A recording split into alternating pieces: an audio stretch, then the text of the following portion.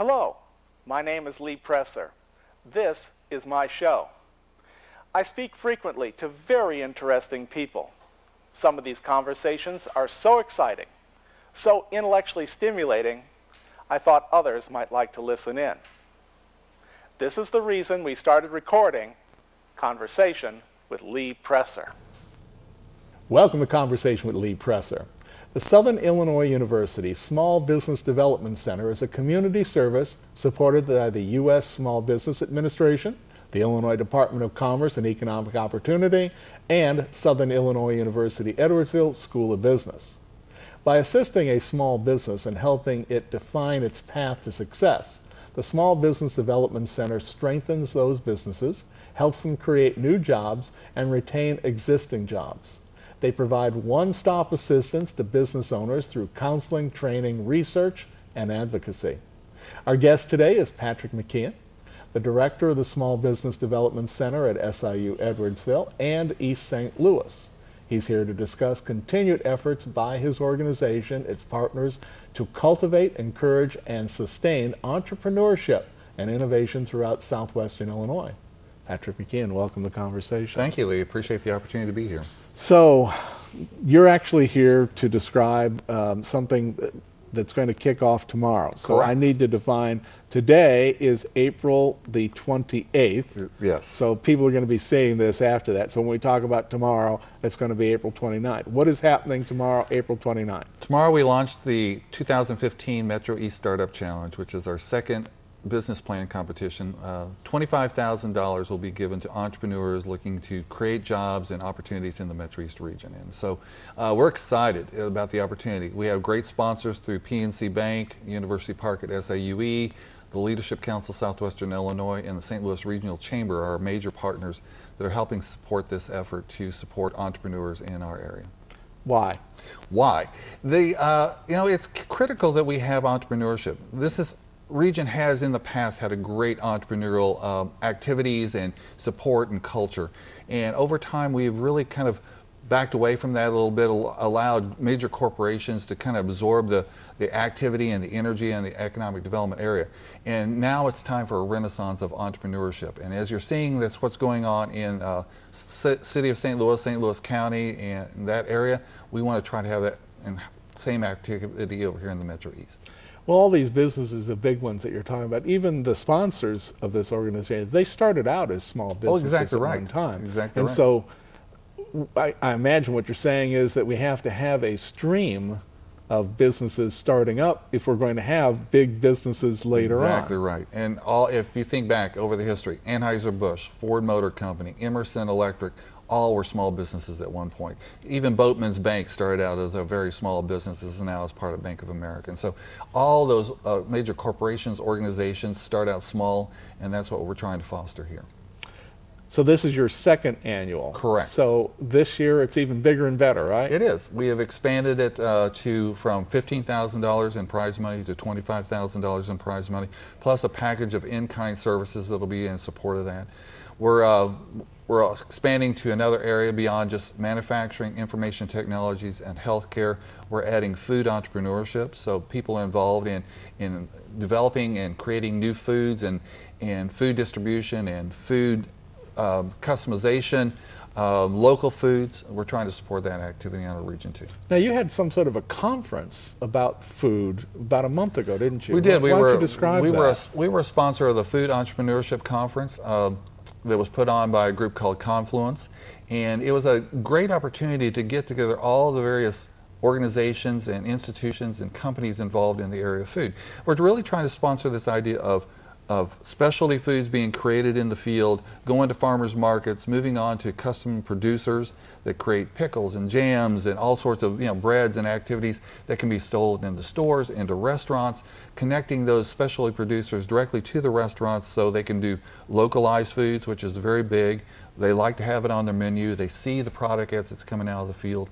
And so those are key importance the layers that start to roll out from the economic benefit around food is tremendous. And, and we're talking about providing foods into schools, um, nursing homes, all sorts of organizations that support and provide better quality food to our citizens. And what was the upshot of the conference? What, what, what first, what happened at Right. this thing, and then what, what is going to happen now that As it's a- occurred? As a follow-up to that, you know, uh, there are a number of groups that are involved. We had almost 90 individuals in attendance. I heard a wide range of resources and activities are involved around food in within our region. Uh, Feast Magazine was there talking about their focus on, you know, restaurants in the region. Uh, we had uh, the um, state of Illinois was represented, and they talked about all the resources through U.S. Department of, of, of uh, uh, Development agriculture, U.S. Department of Agriculture talked about their rural programs and how they can support through loan programs and grant programs food. So it was overall um, a very informative conference. A lot of energy came out of that, and we're rolling out from that throughout the year other activities to support around food. And some of these food pe- these members of the conference, these are relatively small food Oh, producers. oh, they are. For uh, and so you're trying to hook them up. These guys that are just making basically specialty foods. That is right. Uh, one of the, the one of the presenters was uh, Dairy, which they make uh, specialty cheeses. So they have a small dairy farm uh, just south of Greenville, and they uh, make these cheeses now off their dairy farm. They're now being sold in grocery stores. They're on restaurant menus.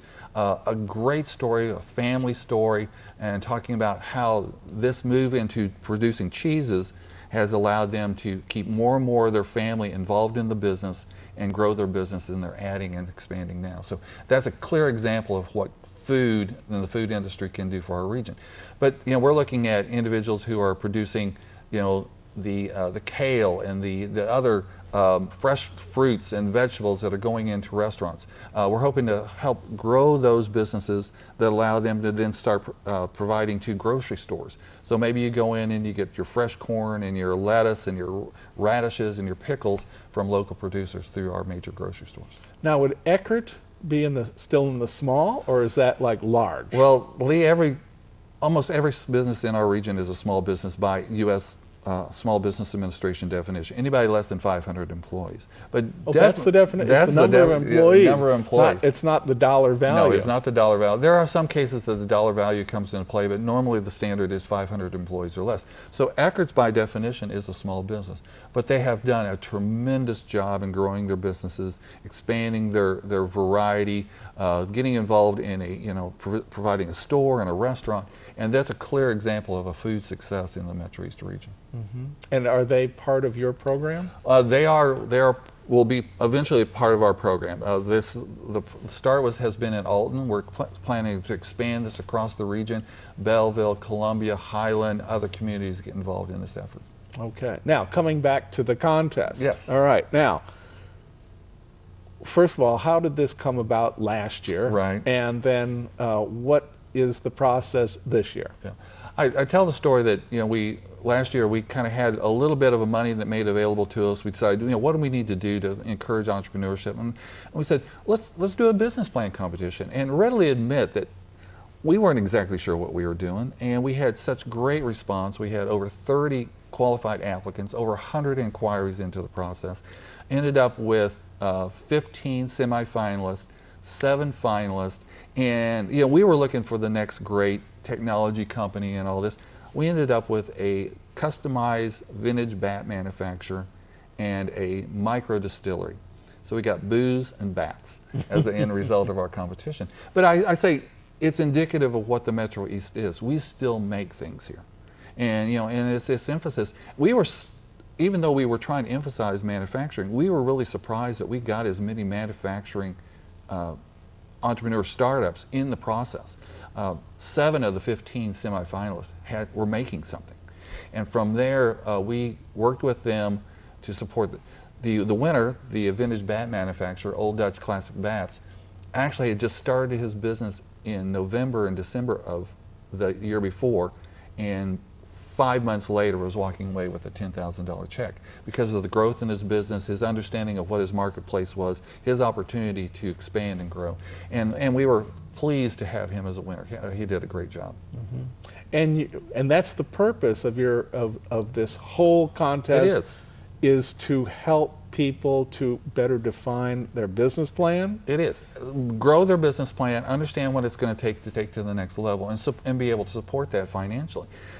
Ultimately, though, Lee, it's not so much about the money. You know, it's a great thing, and it's great to have those kind of winners, but it's promoting this idea of the entrepreneurship and the resources and the opportunities that are around this, and the fact that people appreciate entrepreneurs like this and what they're doing, and drawing attention to them. And, and um, Todd Eshman, the winner last year, uh, he's gotten national coverage because he was this small vintage classic bat manufacturer. And from that, you know, he's been able to grow his marketplace. And those are the kind of things that we hope to bring to our winners and the whole program. There are a number of ones that didn't walk away with a check that we're still working with. We still have great hope and opportunity with them and uh, very pleased to uh, have them as part of our process and working with the Small Business Development Center. You know, it's interesting that um, if you go back just a few decades Mhm. to uh, the downtown areas of most of the areas of Metro East, Mhm. you'd find a whole series of small businesses, Right. entrepreneurs. You know, there was not, you know, Schnucks, Dierbergs. It was mom and, chains, mom right. and pop grocery store, Mhm. mom and pop bakery store. Right. Um, that's changed though over the last Oh, number has. of decades. Can you? I don't know if you even want to get into this, but what's changed, say, from 1960, you know, 50 years later? Well, it's, it's a whole corporatization of, of small business. You know, it's the moving in of major changes. And it's natural. You know, you grow, you expand, your concept works, you, you begin to spread out. Uh, you know, there was, you didn't go to McDonald's in those time frames. No. You went to the local mom and pop burger shop. And when Well, McDonald's they made to town- hamburgers one at a time. That's exactly right. And McDonald's McDonald's started out that very same thing in California, but they grew into a major corporation, you know, international corporation. That has pulled business away from those small businesses. It has been harder for them to compete. It's harder for them to find labor. It's harder for them to, to deal with government regulation when you're small.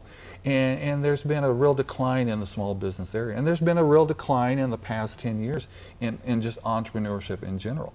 Um, but we're seeing now a renaissance. We're seeing more and more focus on innovation. We're seeing more and more interest in helping sponsor and support small businesses to be able to compete. The other thing, the factor that's come into play, uh, and I think you were referring to it earlier, was globalization. You know, in the 1960s, small companies, small manufacturers, small support businesses didn't have to worry about global competitors. we sold to each other. We sold to each other. We, we, the market that we had, uh, regional, Midwest, national, whatever else, was sufficient. Nowadays, you compete on a global scale. A business in China or Italy or uh, Peru can compete with you because of the ability through the internet, uh, through sh- uh, global shipping. They can be just as competitive as you are, and they can possibly beat you out on price even though they're shipping from half a world away. So that, that kind of competition has really put a tremendous strain on, on small business. I'm sure that, that Collinsville horseradish is probably not just in Collinsville, is it anymore? That's true. There is there is other options out there. There's op- other opportunities. You, you shorten that um, that delivery time line. You shorten that delivery distance by being able to produce local and other locations. Uh, you know that's one example of that. It still retains some capabilities of being successful, but uh, we're working with a couple of those growers because of the challenges they do face. Now, coming back to the contest Yes. itself. Mhm. So, um, how does one get involved, and what are the steps of the contest? Which, by the way, by the time they're hearing this, they're- this is next year. That's that's But, right. but let's just talk about this year. How did people one first contact you, and what's the process from there to the end? Right. We will have on our website, uh, we will have links to our online system that a person can go online, find out the information about the contest, the rules, the criteria to qualify, eligibility, and then actually apply online. And we use a, a system called PitchBurner. It's the same system used by Arch Grants, which is a global business plan competition based here in St. Louis. Uh, we started using it a couple years ago. They just recently uh, adopted it. And it's a great, easy to use system that people can go online and again find out all that information. And so we'll be uh, announcing tomorrow on the 29th of April all the information to those links and how this, people can find out how to get on the system. And they have, we've given a little more time in this first round. Again, last year we were a little time compressed.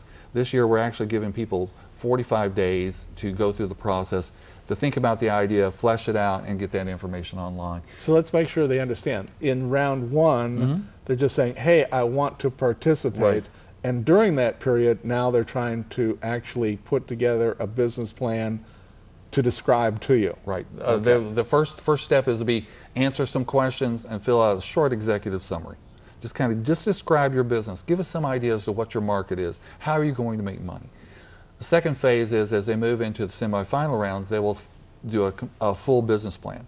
And so, you know, we encourage people to start thinking about their business plan when they start to apply. But, you know, that first deadline in mid-June, early to mid-June, will be just that initial information. And then they'll be Oh, given that's it. Yeah. So it's, it's very Yeah, cursory. one page, Right. answer some questions. Then you Very pick easy. out of the people who applied, how many? Uh, we will probably look at 15 to 20 uh, in that Of next that round. whole- of the Yeah, original of- group. Of the original So these are the ones that you see are most likely to Yeah. succeed. Yeah, and so those are the ones we say, this idea makes sense, they meet all the eligibility criteria, we'd like to see more. And then ask them to fill out that business plan that they submit approximately 45 days later, And that's called phase two. phase two. Now, so they've gone through that phase mm-hmm. and everybody's worked real hard. Right. and they've submitted this information to you, then you call it again, is that right? Correct. We narrow it down even to a far a smaller list of eight to ten that we will do in the final analysis, and they will actually meet with a panel of judges. They'll pitch their idea. They'll respond to questions. They'll look at all the detail, and then we'll determine our winners and announce those on September fourth. And so you have a total of $25,000 this Correct. year to spread among, Cash prize of twenty-five thousand dollars is spread among three winners. uh, there's three winners or there's like first, First second, third? and two runners up. Two runners Yeah, up. so fifteen thousand and two five thousand dollar prizes. Oh, that's very nice. Yeah. I mean, 5,000 to a small business, Oh, it's- 15,000 to a small business, that's, It's going to be great. that can be everything. Right. In addition to that, a package of services in terms of legal support, marketing help, so continued support through the Small Business Development Center. So we really become part of your team that helps you move through the process to help to be successful. And that's an important message that you just said that there, uh, there's a lot of businesses that are starting out there, but they feel like they're on their own. They Exactly can right. come to you, and you you already have been through this process dozens and dozens of Right, times, A lot of experience. so that you can actually say, "Oh no, you're no, don't do this, do that." Right? Uh, we, one of the core competencies of the Small Business Development Center is business counseling. So we just sat down with you. We, we uh, try to understand what you're going through, what your challenges are, what your opportunities are, help direct you in the right direction, hopefully keep you from making the uh, uh, mistakes that we've learned from in the past, and build upon your business from there. And we do that to hundreds of small businesses throughout the year. This is business plan competitions gives us that opportunity to get a little more intense with the business, really start looking at their information early and help guide them through the process. So when they come out the back end in that final round, you know, whether you walk away with cash prize or you're one of the finalists, uh, you'll be getting our support to help you grow your business. If you get to the finals, we still think you have a strong business idea. And whether you walk away with a check or not, we still want to try to help you be successful and, and make profit. So you're talking about that last eight to 10 It doesn't matter whether they got the 15 or the Right. fives.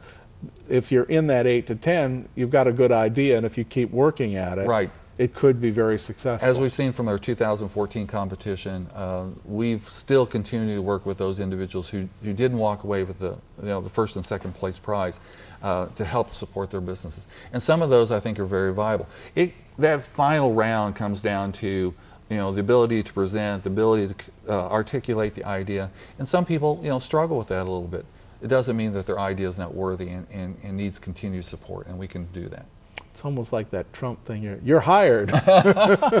well, we, we, we want to encourage everybody, even if those that didn't make the second round, you know, maybe they need some additional help to try to better uh, articulate their idea. Maybe they need a better analysis of what, how are they actually going to make profit? Uh, where are the, where's their customer base? You know, they haven't really thought through some of those issues. if they really, I mean, they, they, have an idea for a business, but they, they haven't got the idea.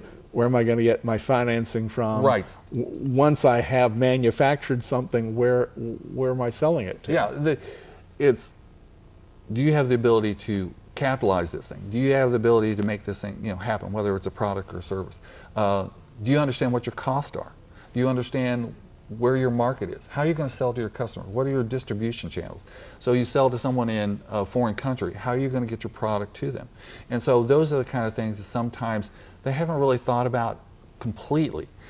They have some general idea, they got some general feedback, and the idea is still formulating. The business plan competition is to draw that out. It's to make you think about those issues. And our winner from last year said he went through this never thinking he was going to win, but the, the process kind of put him in that regiment of thinking, what, you know, how do I, how do I address these issues? How do I uh, uh, answer these questions? And as he went through it, his business strengthened, his business plan strengthened, and you can see the end result, $10,000 check. Mm-hmm. And he also has a much better focus on on a business. He does. I mean, the the, the ten thousand that uh, that you say he got that was okay, right, fine, but right. that goes away. Right, you spent right, right, but the knowledge of okay, how do I make more money? Yeah. That's that's what you're trying to teach people. As Todd has said, and I've heard him say before, you know, just the experience was worth the money that he went through and the support he has gotten, the interest in his business, and the, and the, the attention that it's drawn to his business has been tremendous and from a dollar value, much greater than the, the value of the check. And do you work with uh, people to teach them the value of social media, how to oh, yes, get their yes. get their name out there, get you know a description of their product all out there? of our small businesses. And you're not doing all this. There's there's a staff of there people. There is a staff, right? correct. Yeah, I have a, a, another full-time professional, Joanne DiMaggio May, works on my staff. Uh, we work with some graduate assistants. We have resource providers. We've got other people, colleagues, whether that's through SCORE or local economic developer or Chamber of Commerce. We all try to team together to support these small businesses. And social media is one that's a lot of entrepreneurs, small business owners struggle with. And so we try to help guide them to the process, uh, better focus their attention. You know, it's going to require time and energy to do that kind of stuff. So what's your best value for your time and energy? And that's, mm -hmm. that's what the guidance we try to give. Now there are some existing um, businesses, eh, or well, you, you gave me a sheet here of some other things that, mm-hmm. that you wanted to get into. Uh, specifically, what, what is this Highland Gigabit Challenge? Yes. As a result of our small business, uh, the Metro Startup Challenge, uh, the city of Highland put together a business plan competition at the end of last year. And I will tell you, Lee, the progress from our challenge at the first of 2014 to theirs at the end of the 14 was exponential. They had a lot of great um, companies apply. In fact, uh, Chico Weber with Square Fruit, which you recently interviewed, right. won the competition in, in, Highland, and he was uh, uh, declared the $15,000 winner. Um, it's, it's just another community that's seeing the value of business plan competition to attract and uh, potentially grow entrepreneurship in this community. City of Highland also has their has had for a number of years now their Highland Entrepreneurial Program, uh, HEP, and they match up small businesses and entrepreneurs in the community with business mentors. They provide some programming, they provide mentoring support, they try to foster those businesses through the process. And so, you know, City of Highland has been very proactive in entrepreneurship. City of Granite City has been another one. Uh, they recently set up a program in Granite City High School called the CEO program through Midland Institute, and they have 13 high school seniors going through this program, year-long program, connecting them to small businesses, helping them understand the small businesses and the, the business activity going on in the community. And it's really helping foster in them the idea of entrepreneurship. Uh, actually, uh, this week they're going to have a showcase of their own entrepreneurial ideas. And so they're really focusing on you know, helping foster young people with the idea of starting your own business, coming back to the community and growing small business. And you've seen a, a, re a renaissance even within the downtown Granite City of small businesses popping up. Uh, cool Beans Coffee Shop is a great example, one of our clients that has, has gone in there and made a big difference in terms of its presence and its support for entrepreneurship in the region. Uh, they've created a downtown group that's, uh, that's trying to foster small business growth. Uh, City of Columbia has done a great job over the last couple years in promoting entrepreneurship and growth, and they're looking at a kitchen incubator project. Uh, What's, what's a kitchen incubator Kitchen project? Incubator Project is another opportunity to draw individuals who are involved in food production out of maybe home kitchens into um, working in a certified kitchen space. So the, the, uh, the woman who's at home making maybe a, a, a wedding cake or a birthday cake for friends and family uh, sees a business opportunity and has the opportunity to come into a certified kitchen and do that and get the support behind it, have the equipment available to him or her to help do that. Um, and it's all part of that whole food entrepreneurship initiative that we're involved with. Now we got about know, three minutes left here.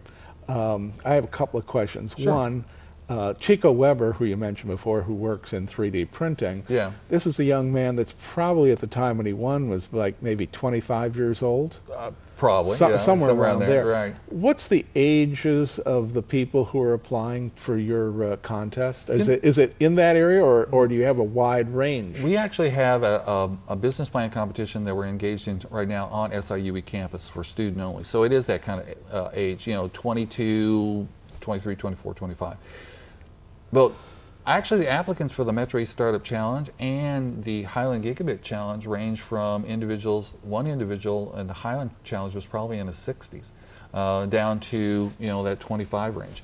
Um, there is a, uh, a, a, a new interest by individuals looking at second careers, looking to move out of the corporate world, start their own business, you know, to, to fulfill that dream that they had and to be an entrepreneur. And so a lot of the individuals that we work with are in their 30s and 40s, and that seems to be a very prevalent uh, aspect of small business right now in entrepreneurship.